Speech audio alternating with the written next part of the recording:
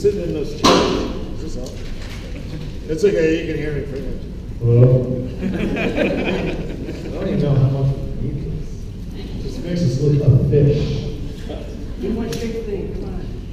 What? Do your dance thing. The shake thing? Yeah. Do your shape. No, no, no, you said shake thing.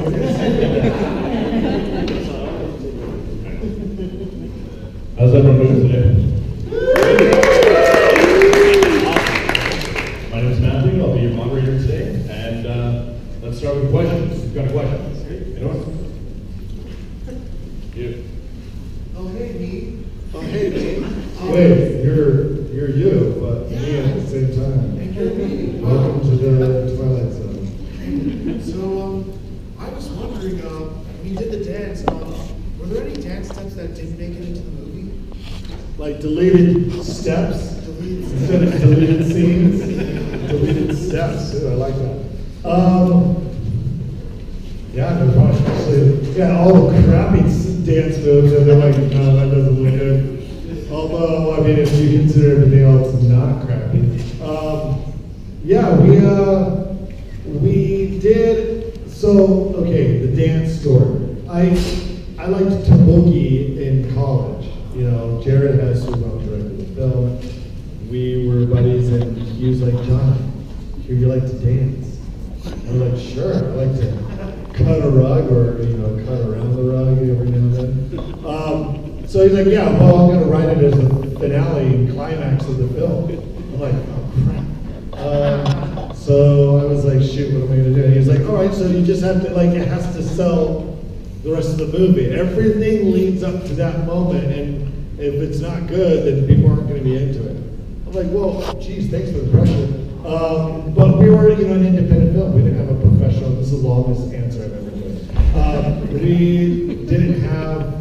It's not like we had a professional choreographer. So I was like, I'll just wing it like I normally do.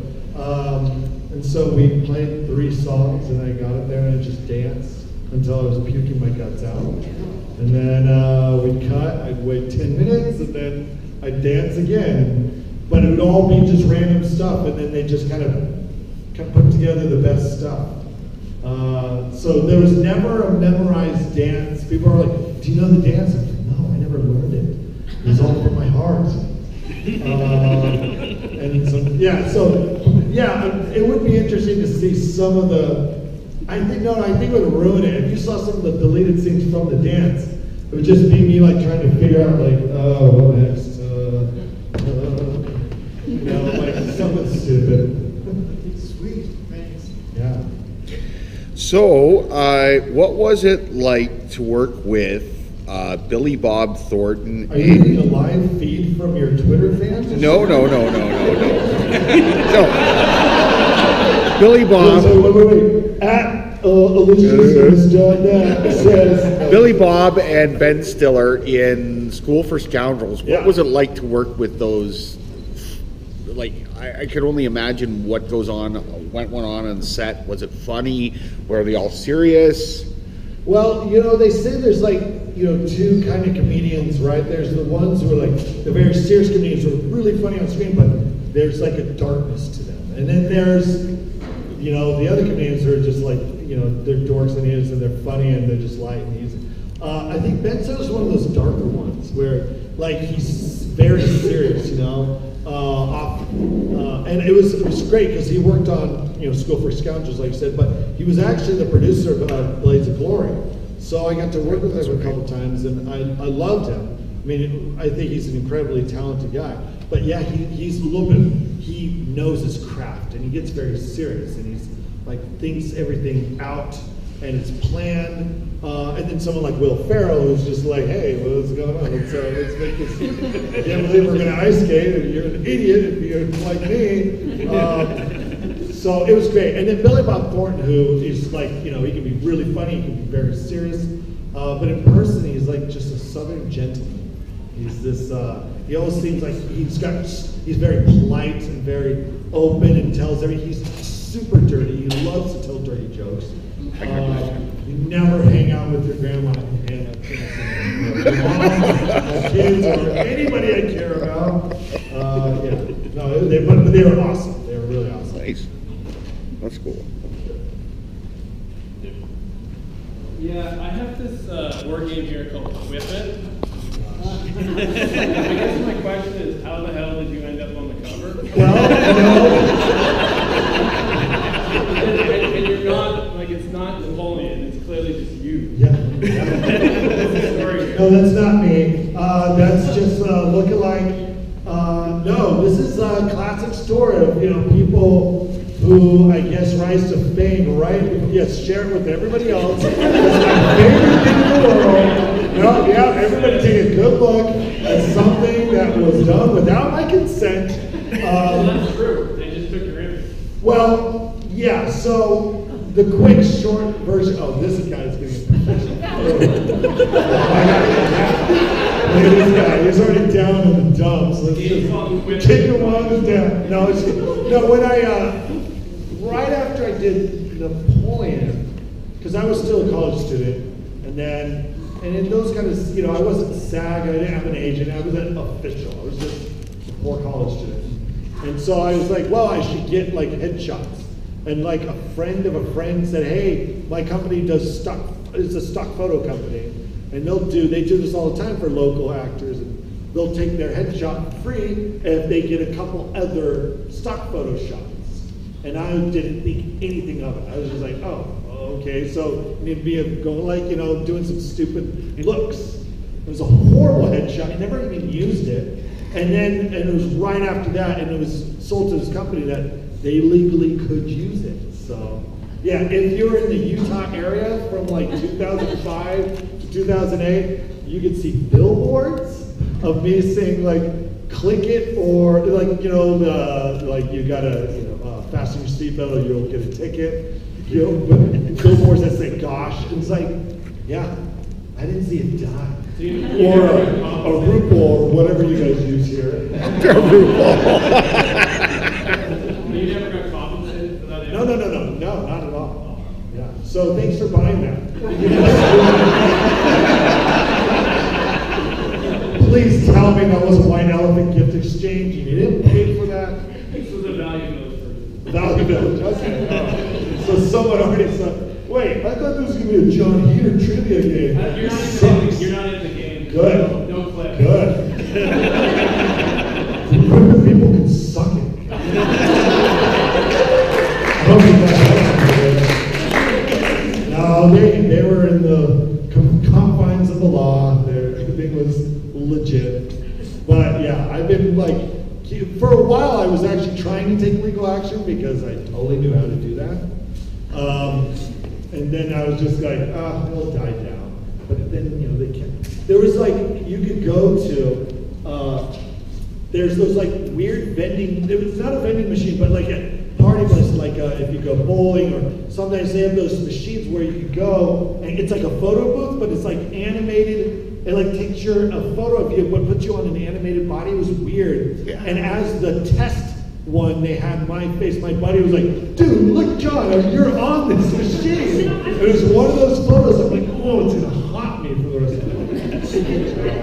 And here I am talking to all you other people about it. They win, I lose. Any other questions? What's uh, what's what's new in the world of Jon, the acting? Is that- an air hug? Sure. Uh, let's do. Uh, I've got, so I've been doing a lot of voiceover. I don't know if you guys know Pickle and Peanut. No. There's a great self-promotion there. Uh, Pickle and Peanut, Disney. You've heard of Disney. Disney XD. Dis, Disney?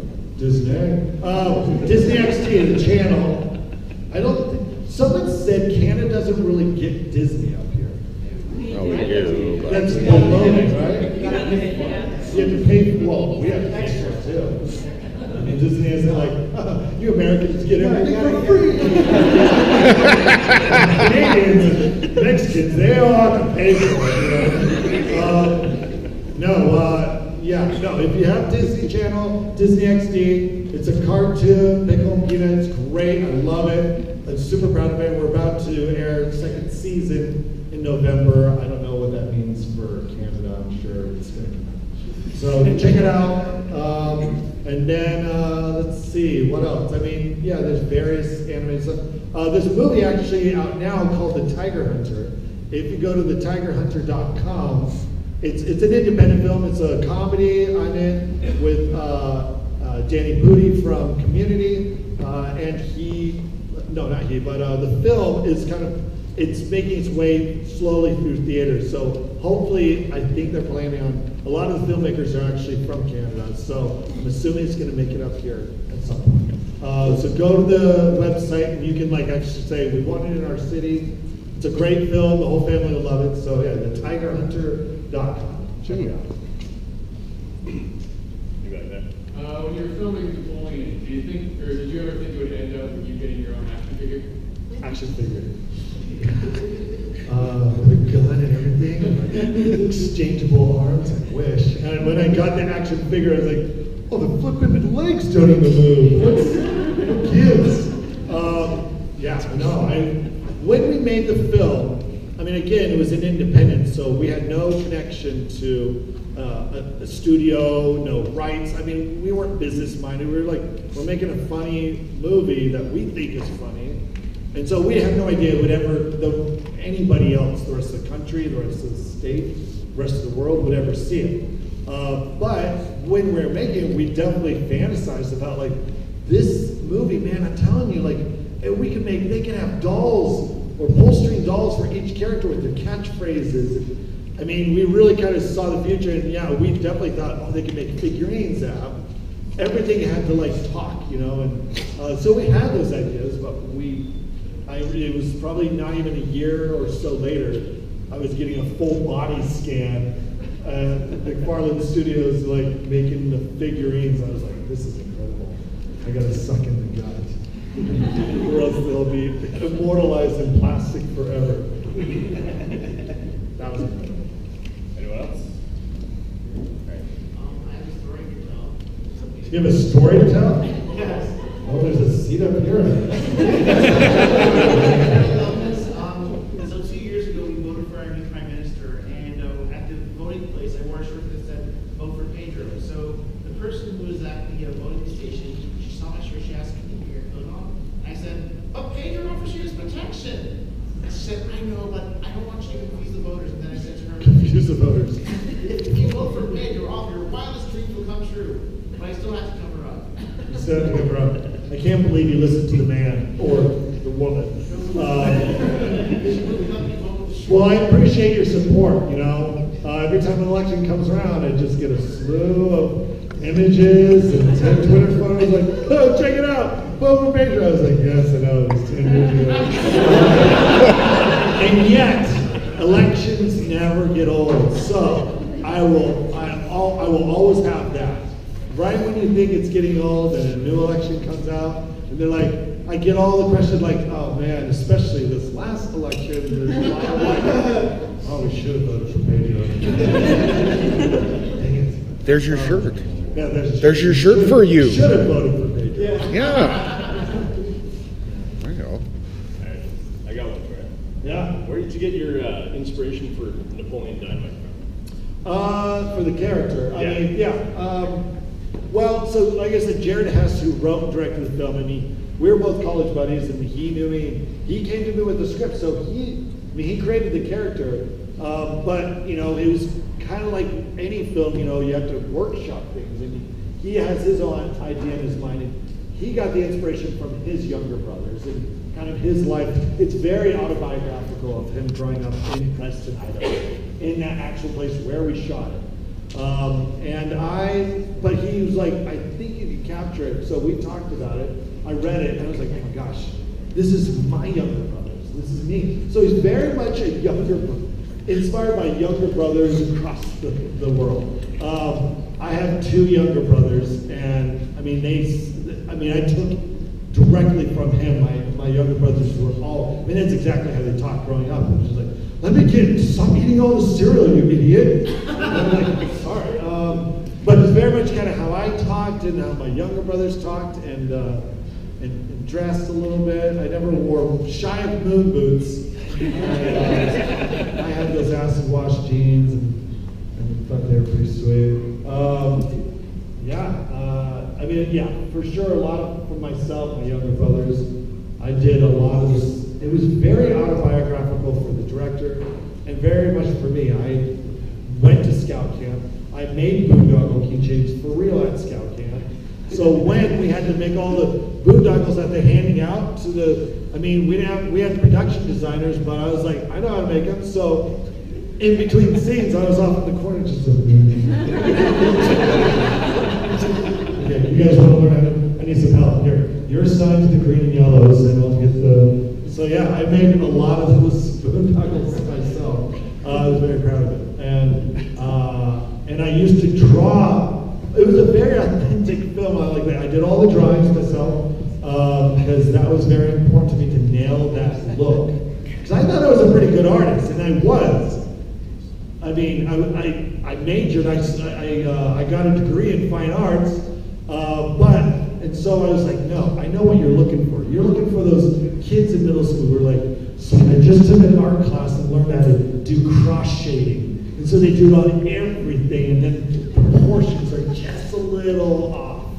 And, uh, and that's where Trisha came from, and, the, and, uh, and everybody's like arched backs and the Lakers butt. I was took a lot of pride in those drawings. And it really did take me a couple hours to do Trisha's drawing. All right, is there one back there? Yeah, one back there. Um, what, what was your favorite scene or line from the Boy Band Night? That was your favorite part, or like, that was so funny, or it was so fun to do?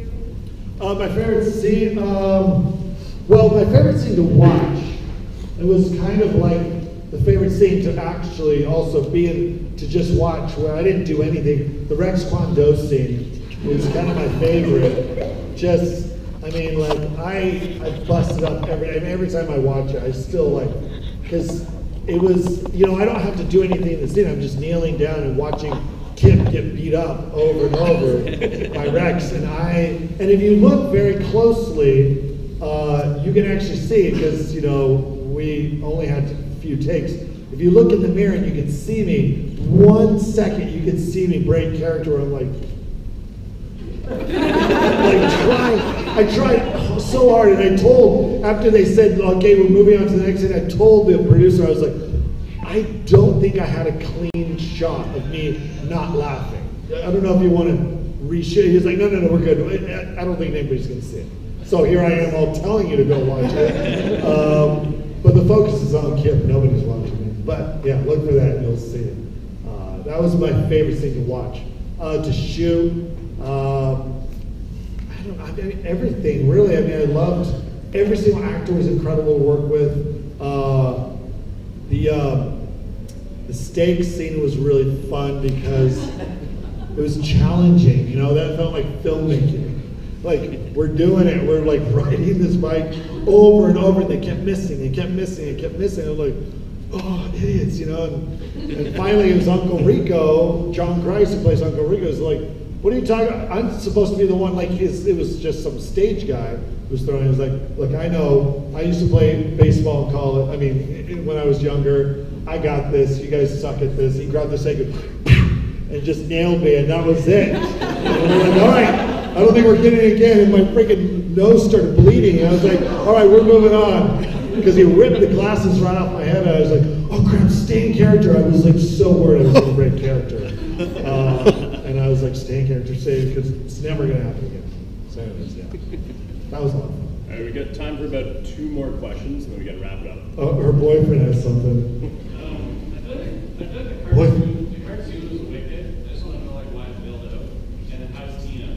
You want to know why what? Why the cartoon like stopped? Uh, and then, and then what's your second part is how's Tina? Tina Majorino or Tina the Llama? Llama. Oh, okay. Um, the the cartoon, for those who didn't see it, check it out. You can find it on iTunes or DVD. Cartoon is rad. We had the whole original cast come back. They're the same director, writer. So it's it really is cap. It captures the same. I, I want to say essence of the film, except it's Simpsonized. You know, it's cartoon. There's weird things that happen. Ligers talk. Um, so yeah, that didn't really happen in the movie. But watch the cartoon; it's great. Yeah, we did six episodes, and I think because they aired during the Super Bowl, uh, stupid people still like football better than Napoleon. Uh, no, I don't know. You know, I, I like to think of it that that was our sequel. You know, kind of like put those six episodes together. But I really don't think the world of Napoleon's dead. I mean, I think there's definitely the opportunity, or I mean, there has been talks about people like, oh, maybe we can resurrect it as an, another animated show, but in a different way. I don't know. We'll see. Um, answer to your second question, I'm pretty sure that llama's dead. Their lifespan is not as long. Um, it was uh, that, uh, that that llama's name was Dolly, actually, Dolly Llama. Um, and uh, so yeah, I was. Uh, I mean, I'm you know, rest in peace, Dolly, but I'm not a huge fan of llamas. I, you know, that was all very real to me. Every day, like again, Grandma loved that llama. Her making out with it was all unscripted, and then and me throwing the food at it was unscripted because I'm supposed to feed her. The stupid llama wouldn't eat the food, so I was like, "Eat it!" And I kept it. That was actually the other scene. I had a very hard time not laughing because I was trying to stay in character, but throwing, being mean to an animal in a non-violent way is very funny. like, it just, I felt so bad throwing the food and like, it didn't hit the animal, but the law, it just, it was very funny and I had to stop, keep myself from laughing as a whole character. I don't know. You guys- Um, when you were on uh, Ninja Turtles as Napoleon Bonaparte, Yeah. your idea just to do the Napoleon voice? Did they ask you to? Oh, they asked Yeah. No, they. Uh, one of the producers was actually of Napoleon was a writer on the show, so he was like, "Hey, I know Jon. Let's bring him in. If you remember the original Napoleon Bonaparte, let's bring him back and kind of do his thing." Kind of just made sense, and uh, I know the people at Nickelodeon who do that. So yeah, it was a blast to kind of just do the unofficial Napoleon Dynamite for Ninja Turtles. You had a question. Um, out of all the films and audio voiceovers that you've done, which one of the actors or co-workers that you worked with was the best one? So she's wondering which of all the actors I've worked with. Yeah, basically. uh, voiceover or not, is, Yeah. is the best. Um, oh man, I've really, I've been blessed. I've worked with, I pretty much have loved everyone I've worked with, and I, I, I can't speak say that for everybody. I'm sure if people I've worked with Nightmare. I've heard so many great stories from other actors I've worked with, like oh, so and so was a bit of diva or whatever. Um, but I. I've loved everyone. Will Ferrell's great to work with. I love David Spade and Benchwarmers. He was awesome. Nick Swardson and I got to work with like a couple times, and he's incredible. Like very, very funny guy, very nice. Um, uh, who else? Um, I don't know. I just they, they've all been wonderful. Yeah. Um, I've you know I just you get very close with your you know your fellow. I, lo- I mean everybody in Napoleon obviously. I mean both Tina, Gri- Jon Gries, Efren is really funny. Um, he's complete opposite of his character. like uh, he talks Yes. normally. Um, and uh, so yeah, we'll hang out sometimes. And uh, no, they're they're all awesome, and uh, I love them all. All right, that's all the time we have for today, guys. Thank you.